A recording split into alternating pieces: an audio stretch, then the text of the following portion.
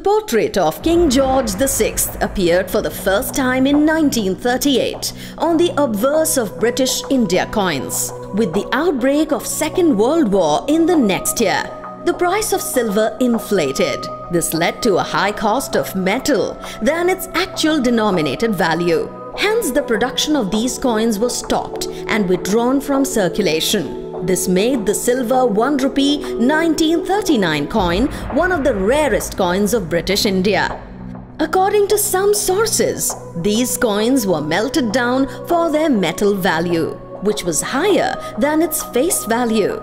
In December 2015, one such coin was sold at the Todywalla auction for 6 lakh rupees, which is estimated to be more than $9,000. This coin depicts the portrait of the king with the inscription George VI King Emperor on the obverse. The reverse has the Bombay Mint mark consisting of a small dot below and the inscription 1 rupee India 1939 in English and Yek Rupaya in Persian.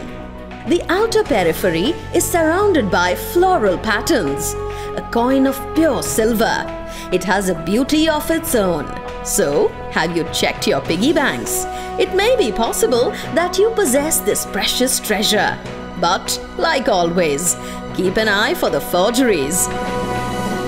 For more rare videos, subscribe to Mintage World. You can also visit our website www.mintageworld.com.